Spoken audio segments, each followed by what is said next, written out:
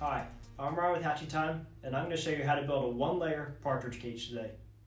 Alright, first we're going to start by building one section at a time. So as you can see here, you have your front wall, your front door, your top roof, your back wall, and your bottom egg roller. And if you zoom in to the front wall, you'll see that they have these arrows. And all arrows are going to line up on this unit. So you can see the arrows. So this is how you know you'll be assembling it correctly. So to start, we're going to take the door and you can see that there's a little lip right here for the lock.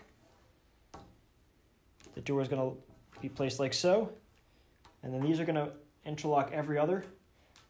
Bend the door back slightly. And there you go. Next, we're going to attach the top. Pick it up and you're going to connect the butterfly locks at slightly less than a 90 degree angle.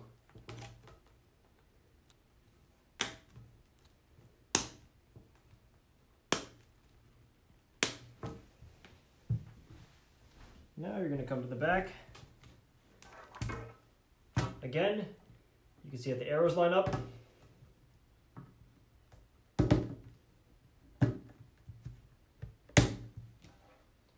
It's almost done. Now you're adding the bottom egg roller to the unit.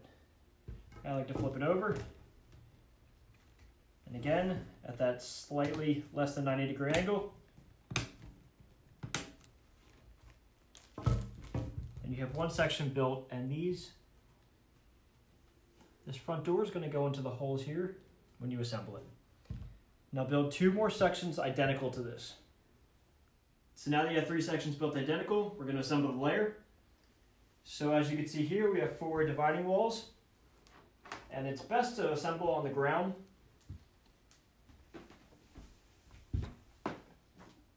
Now for this step, we recommend a mallet. Just make sure everything is tight, secure, and snug. Again, go around the perimeter, making sure all the pegs are in the holes. Take your mallet.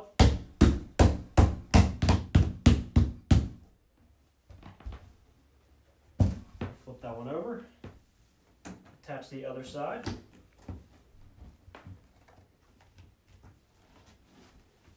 Take your next section. Place it on top. Your next dividing wall.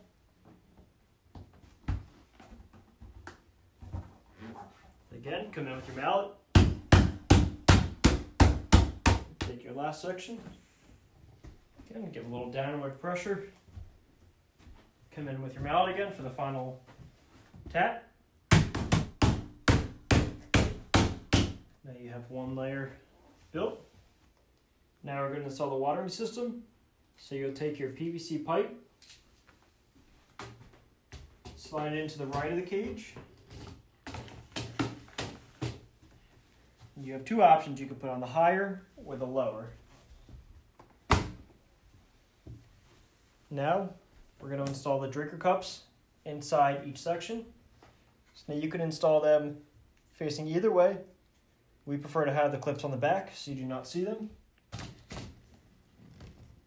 They simply snap in.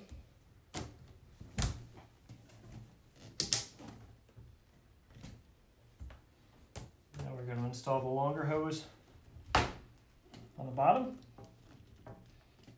And then this hose will be cut to the proper height. All right, next we're going to install the side struts and the aluminum rods. So you have your four side struts, four aluminum rods, eight mollies, eight screws, and then your vice grips or rubber vice grips, and your power drill.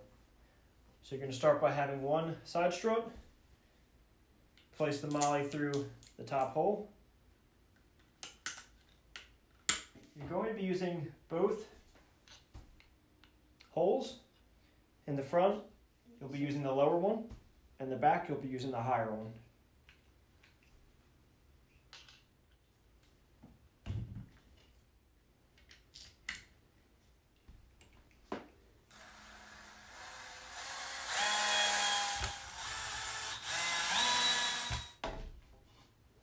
Next one,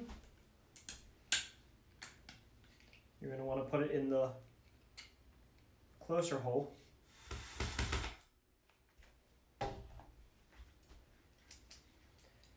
Now some people prefer to use a vice grip. We suggest a rubber vice grip or if you have a jar opener, you can put it on the inside of your metal vice grips. This will help prevent the aluminum rod from spinning. Now that we have both side struts built, we're going to bring the cage to the ground and assemble the side struts. So now you're going to see the one that's closer is going to go along the back and you're simply going to slide it through the holes of the cage.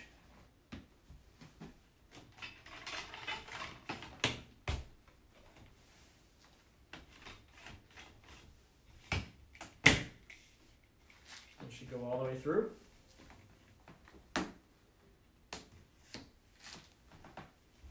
Again, do the front one, and you want to make sure that the legs are facing down towards the feeding trough.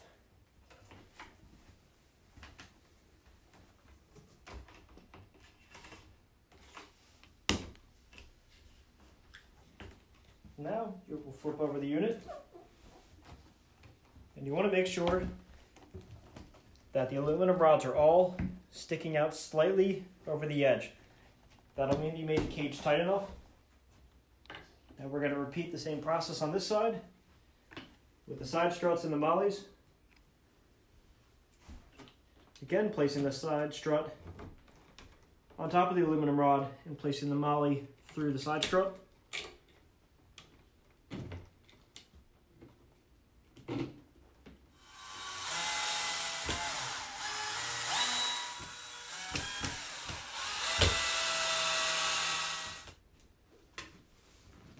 Now you have one layer. Now we're going to install the feeding trough. So you can see you have your green strip here, and there's arrows on the strip. You want to make sure that it's facing the feed trough. And you will simply slide it in along the groove.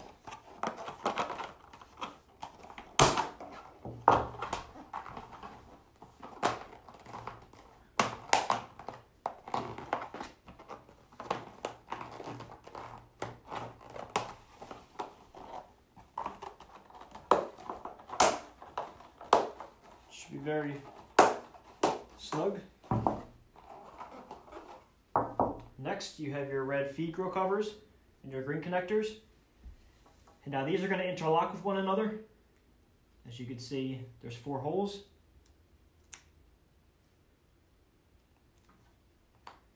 And just like so, you'll connect the feed grill covers.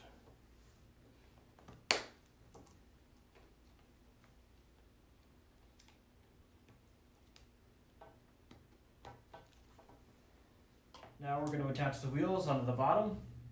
So as you can see, you have two wheels with locks that'll be going on the front and two wheels without locks on the back. Now this is user preference. You may place the locks wherever you'd like, but simply screw them in. And then you can take a wrench to make them even tighter. So now once you have all the wheels on, you're going to bring it over to the floor. Now you're going to add the layer to the bottom frame and wheels.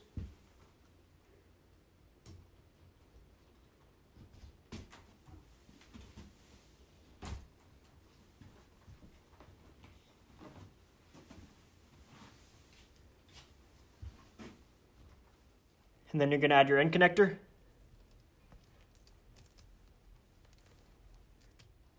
Next, we're going to put the feeding trough on. Now we put the top frame on. Next, we're going to add the water tank.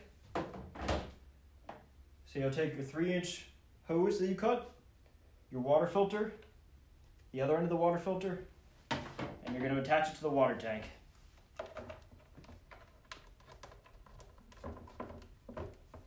And then from here, you're going to attach the hoses going down, making sure they're nice and snug. Water tank will sit here. And now you add your manure tray. And there you have it, a one layer partridge cage.